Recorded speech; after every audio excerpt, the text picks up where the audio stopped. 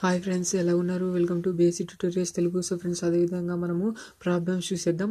ఇక చూడండి problems first one a particle performing SHM with a period of zero point zero zero one seconds and amplitude zero point five centimetres then find its velocity and acceleration అంటూ zero point two centimetres ఓకేనా so ఇక్కడ చూడండి ఏమంటున్నాడంటే ఒక particle ఎస్హెచ్ఎంని చేస్తుంది అంటున్నాడు. ఓకేనా? సో హెచ్ఎం ఎస్హెచ్ఎం అంటే సింపుల్ హార్మోనిక్ మోషన్లో ఉంది అంటున్నాడు. అలాగైతే ఓకేనా? సో అలా అంటే దాని ఒక టైం పీరియడ్ వచ్చేసి zero point zero zero one seconds అన్నట్టు ఓకేనా? సో అదేవిధంగా నా యాంప్లిట్యూడ్ చూసుకున్నట్టయితే ఓకేనా? సో ఎస్ ఎస్హెచ్ఎం ఆ పార్టికల్ యొక్క యాంప్లిట్యూడ్ చూసుకున్నట్టయితే zero point five centimetres. Then find అలాగైతే find its velocity and acceleration ఓకేనా? సో అలాగైతే మనకి ఆ పార్టికల్ యొక్క వెలాసిటీ యాక్సలరేషన్ కనుక్కోమంటున్నాడు. అటు జీరో పాయింట్ టూ సెంటీమీటర్స్ ఓకేనా? ఇక్కడ మనకి అటు zero point two centimetres zero point two centimetres అంటే మనకి డిస్ప్లేస్మెంట్ అన్నట్టు ఓకేనా? సో ఇక్కడ మనకి జీరో పాయింట్ టూ సెంటీమీటర్స్ అనేది మనకి డిస్ప్లేస్మెంట్గా తీసుకుంటాం.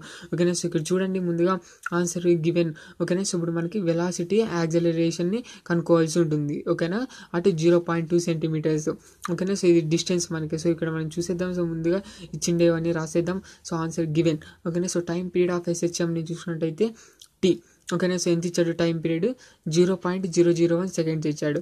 ఓకేనా? సో అదేవిధంగా యాంప్లిట్యూడ్ ఆఫ్ ఎస్హెచ్ఎంని ఏ అంటాను. ఓకేనా? సో నేను ఇక్కడ యాంప్లిట్యూడ్ని ఏమనుకున్నాను స్మాల్ ఏ అనుకున్నాను.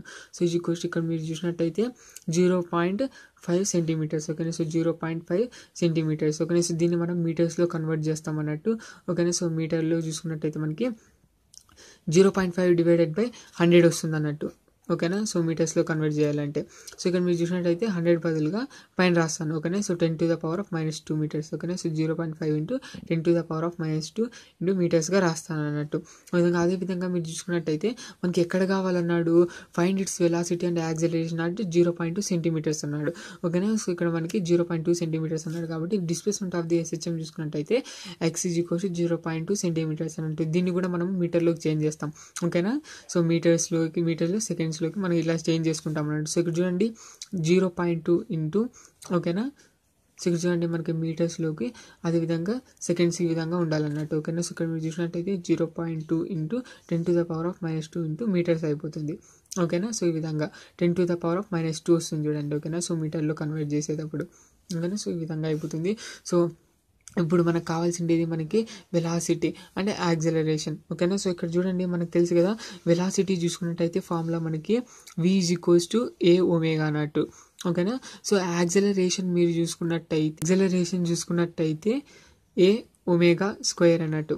ఓకేనా? సో చూద్దాం. ఇక్కడ చూడండి ఇక్కడ మీరు చూసినట్టయితే ముందుగా మనకు వెలాసిటీ కావాలి ఓకేనా? So v equals to a omega అన్నట్టు. ఇక్కడ మనకు చూసినట్టయితే ఏ అంటే మనకి ఇక్కడ యాంప్లిట్యూడ్ ఓకేనా? సో యాంప్లిట్యూడ్ ఉంది మనకి. Zero point five into ten to the power of minus two metres మనకి యాంప్లిట్యూడ్ ఉంది. ఇక్కడ మనకు చూసుకున్నట్టయితే మనకి ఇది యాంగులర్ వెలాసిటీ లేదు ఓకేనా? సో ఇక్కడ మనకు చూసినట్టయితే యాంగులర్ వెలాసిటీ లేదు కాబట్టి మనం ఇక్కడ ఏం చేస్తామంటే ఇక్కడ చూడండి. We know that T is equals to two five by omega మనకు తెలుసు కదా?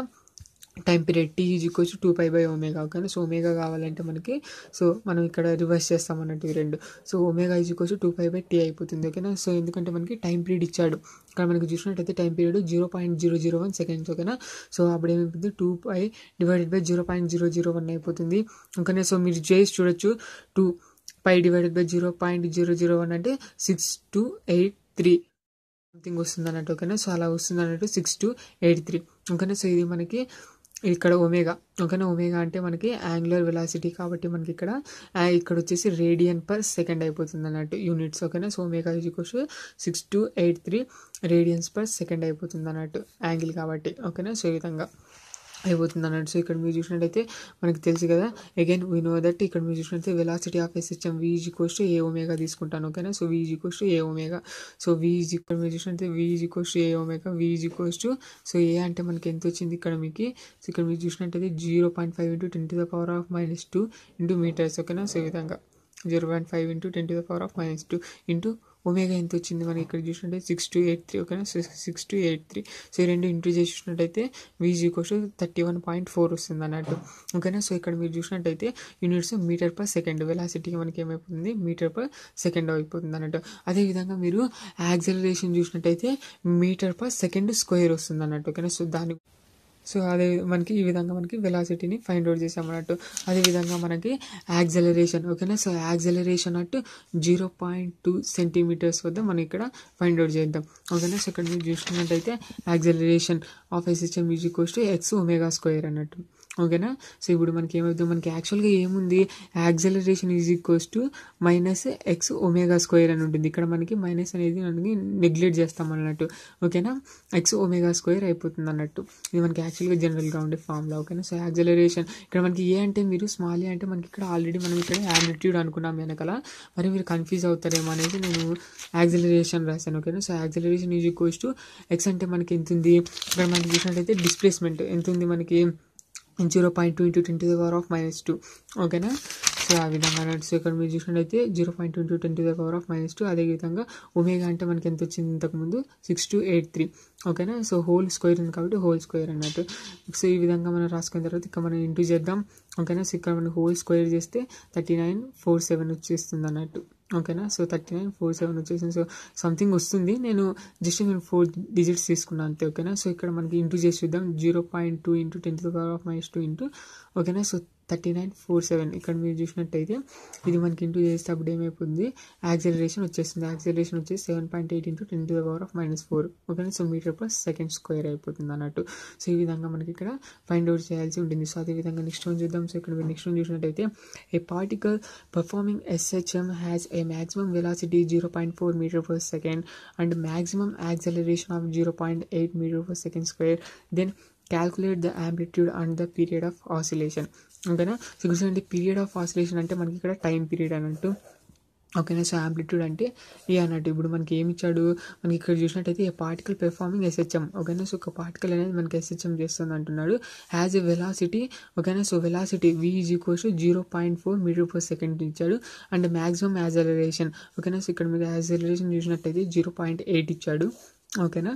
సో యాక్సలరేషన్ చూసినట్టయితే మనకి zero point eight metre per second square ఓకేనా? So then calculate the amplitude and the period of oscillation ఓకేనా ఇప్పుడు మనకి యాంప్లిట్యూడ్ కనుక్కోమంటున్నాడు అదేవిధంగా టైం పీరియడ్ కూడా కనుక్కోమంటున్నాడు ఓకేనా సో ఇది very very important problem so ఇవి చూడండి ఆన్సర్ గివెన్ సో గివెన్ ఇచ్చిండే తర్వాత మ్యాక్సిమం వెలాసిటీ ఓకేనా so maximum velocity of particle ఎంత ఇచ్చాడు వి మ్యాక్సిమం రాస్తాను ఓకేనా సో ఇది కోసం zero point four metre per seconds ఇచ్చాడు ఓకేనా అదేవిధంగా మ్యాక్సిమం యాక్సలరేషన్ ఆఫ్ పార్టికల్ చూసుకున్నట్టయితే ఓకేనా సో యాక్సలరేషన్ మ్యాక్సిమం అని రాసింది చూడండి. సో ఇది క్వశ్చన్ మనకి ఎంత ఇచ్చాడు? Zero point eight metre per second square అని ఇచ్చాడు. ఓకేనా సో ఇప్పుడు మనకి ఇవి రెండునే యూజ్ చేసి మనం ఏం కనుక్కోవాలి? ఆంప్లిట్యూడ్ ఓకేనా సో అదేవిధంగా పీరియడ్ ఆఫ్ ఆసిలేషన్ అంటే టైం పీరియడ్ మనం ఇక్కడ ఫైండ్ అవుట్ చేయాల్సి ఉంటుంది. ఓకేనా సో ఎలా ఫైండ్ అవుట్ చేస్తామనేది చూడండి ఇక్కడ. ఇక్కడ మీరు చూసుకున్నట్టయితే we know that v maximum అంటే మనకి వెలాసిటీ ఫామ్లో తెలుసు కదా? ఏ ఒమేగా ఓకేనా? సో అదేవిధంగా యాక్సలరేషన్ ఫామ్లో చూసుకుంటే మైనస్ ఎక్స్ ఒమేగా స్క్వేర్. ఓకేనా? సో ఇక్కడ మనకి ఎక్స్ అంటే యాక్చువల్గా మనకి డిస్ప్లేస్మెంట్. ఇక్కడ మనకి డిస్ప్లేస్మెంట్ అని అనుకోవచ్చు లేకుంటే మనకి యాంప్లిట్యూడ్ అని అనుకోవచ్చు అన్నట్టు. ఓకేనా? సో ఇక్కడ మనకి మైనస్ నెగ్లెక్ట్ చేసి మైనస్ని దేని ఇండికేట్ చేస్తుందంటే ఓకేనా? సో డిక్రీజ్ ఇన్ యాంప్లిట్యూడ్ చేస్తుంది అన్నట్టు. సో కాబట్టి మనం ఇక్కడ ఏం చేస్తామంటే ఇక్కడ మైనస్ని నెగ్లెక్ట్ చేస్తాం. అదేవిధంగా ఎక్స్కి బదులుగా మనము డిస్ప్లేస్మెంట్ బదులుగా ఏ అని రాసుకుంటాం అన్నట్టు ఓకేనా? సో మనకు తెలుసు కదా the maximum displacement is equals to amplitude అన్నట్టు. ఓకేనా? సో ఆ విధంగా మనం ఇక్కడ ఏం చేస్తాము యాక్సలరేషన్ బదులుగా మనకి ఏ ఒమేగా స్క్వేర్ రాసుకుంటాం అన్నట్టు. ఓకేనా? సో ఇప్పుడు మనం ఏం చేస్తామంటే ముందుగా మనము ఇక్కడ చూడండి. ఇక్కడ మీరు చూసినట్లయితే by dividing velocity and acceleration then we get angular velocity omega ఓకేనా? సో ఇక్కడ మనకి ఎలా అంటే ఇక్కడ చూడండి. మనకి యాక్చువల్గా మనకి టైం పీరియడ్ కావాలి కదా. సో టైం పీరియడ్ అంటే మనకి ఎంత? Formula two pi by omega ఓకేనా? So two pi by omega అన్నట్టు మనకి ఇక్కడ చూసుకున్నట్టయితే. అదేవిధంగా మీరు ఒకసారి యాంప్లిట్యూడ్ చూసినట్టయితే ఓకే మనకి యాంప్లిట్యూడ్ ఫైండ్ అవుట్ చేయాలంటే V is equals to A omega మనకి తెలుసు కదా? ఓకేనా? సో ఇక్కడ మనకి చూసినట్టయితే మనకి వెలాసిటీ ఇచ్చాడు. ఓకేనా ఇప్పుడు మనం ఒమేగా కనుక్కోబోతున్నాం. ఆ తర్వాత మనకి ఏ వాల్యూ వచ్చేస్తుంది అన్నట్టు అంటే మనకి ఏ కావాలంటే దీన్ని సైడ్ పంపించేద్దాం. వి డివైడెడ్ బై ఒమేగా అయిపోతుంది అన్నట్టు ఓకేనా సో మనకి వెలాసిటీ ఇచ్చాడు కదా ఎంత ఇచ్చాడు? Zero point four meter per second ఇచ్చాడు. ఓకేనా సో అదేవిధంగా మనం ఇక్కడ ఒమేగా పాయింట్ అవుట్ చేసినాం అనుకోండి అప్పుడు మనకి యాంప్లిట్యూడ్ కనుక్కోవచ్చు అదేవిధంగా టైం పీరియడ్ కనుక్కోవచ్చు. సో కాబట్టి మనం ఇక్కడ చూడండి. ఏం చేస్తున్నామంటే సో ఇక్కడ చూడండి. By dividing velocity and acceleration then we get angular velocity ఓకేనా సో ఒమేగా యాజ్ సో ఇక్కడ మీరు చూసినట్టయితే మనం డివైడ్ చేద్దాం దీన్ని దీన్ని. ఓకేనా సో ఇక్కడ చూడండి.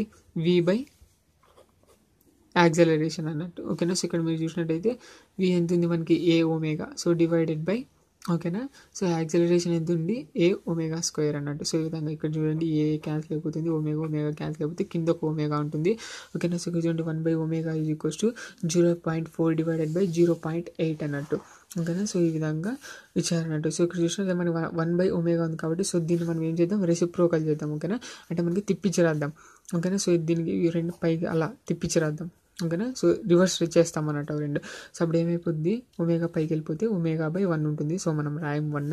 ఓకేనా? సో ఈజ్ క్వశ్చన్ ఇవి కూడా రివర్స్ అయిపోతాయి. Zero point eight divided by zero point four అయిపోతుంది అన్నట్టు. ఓకేనా? సో జీరో పాయింట్ ఏ విధంగా రాస్తారు? సింపుల్గా క్యా క్యాలిక్యులేట్ చేసాను చూడండి. సో ఇలాగనే క్యాన్సిల్ చేయొచ్చు మీరు లేకుంటే ఇలా రాయండి. ఓకేనా? So omega is equals to eight by ten.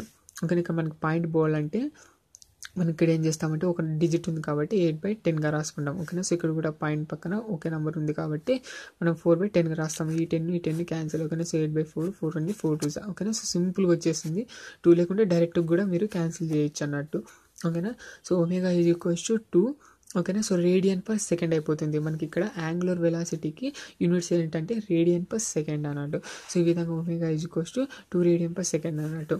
ఓకేనా సో ఇప్పుడు మనకి ఒమేగా వాల్యూ కనుక్కున్నాం కాబట్టి మనం ముందుగా టైం పీరియడ్ కనుక్కుందాం ఎందుకంటే మనకి టైం పీరియడ్ అడిగాడు కాబట్టి మనకి టైం పీరియడ్ కనుక్కుందాం సో ఇక్కడ చూడండి we know that time period of oscillation is T is equals two pi by omega ఓకేనా so T is equals two pi divided by omega ఎంత వచ్చింది? టూ టూ ఇక్కడ టూ టూ క్యాన్సిల్ అయిపోతుంది T is equals pi pi అంటే మనకు తెలుసు కదా three point one four one అన్నట్టు.